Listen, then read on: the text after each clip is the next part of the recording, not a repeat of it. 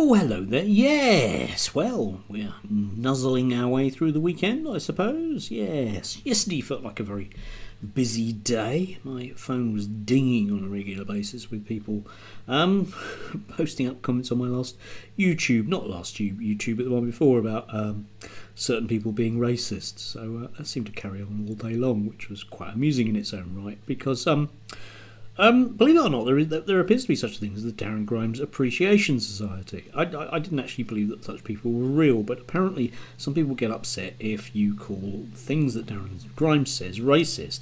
I think primarily because they agree with what he says, even if they don't necessarily like him, and therefore, by implication, you're calling them racist. And they get cross about that because, as I've said many times here in the past, nobody in the UK is racist it's an actual fact. Yes, they just have legitimate concerns, which might well be a euphemism that I use for pretty much everything, I think. Um, yeah, any far right thing is legitimate concerns. Naturally, of course. And moving on from that, hopefully anyway, because I really get, get bored having to point at racists saying racist things and then pointing out to people that they are racist and then arguing with them about whether or not they are racist. Yeah, they are.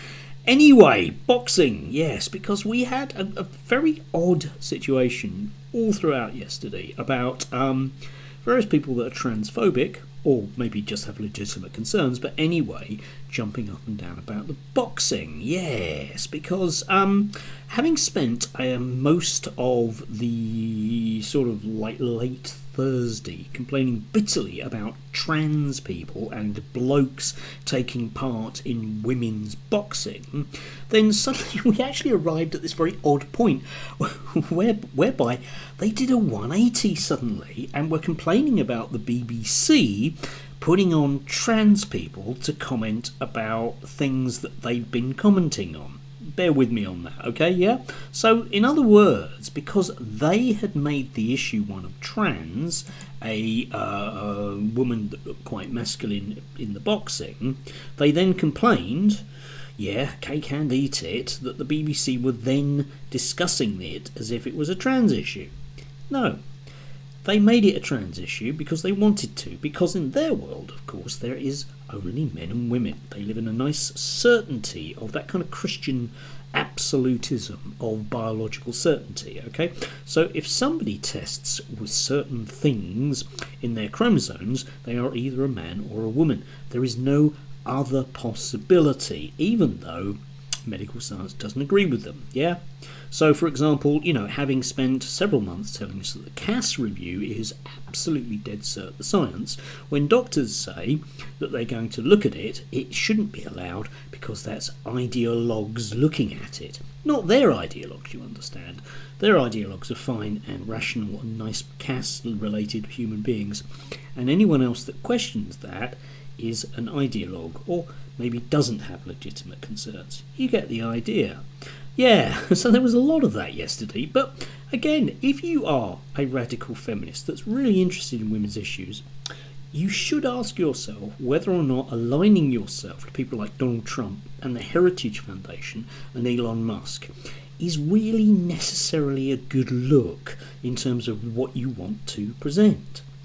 I'm not convinced that it is.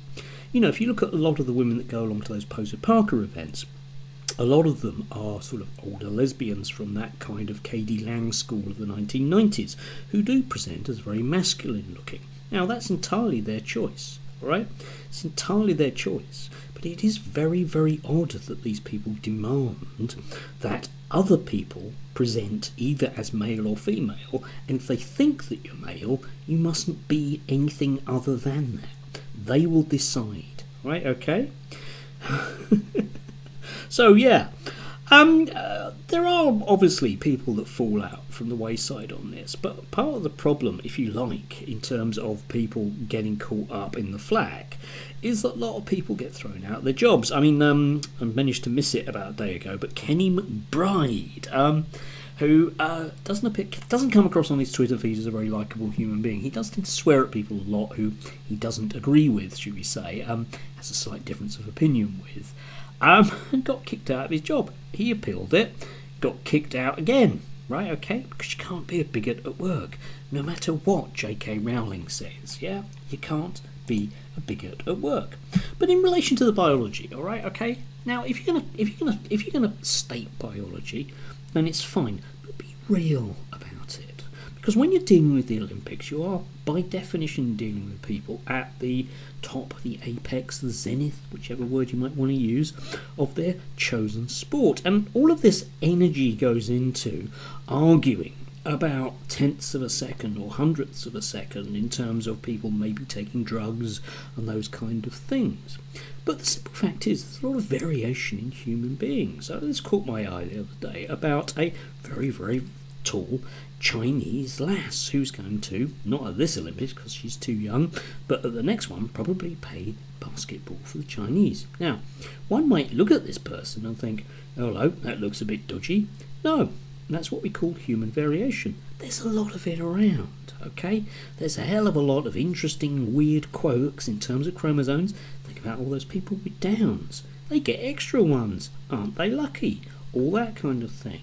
But of course, certain people want to twist that to a very, very, very nasty, nasty, narrow, bigoted end. And they will do anything they like, including kicking up a fuss about trans people and then claiming bitterly that somebody somewhere has made it all about trans people.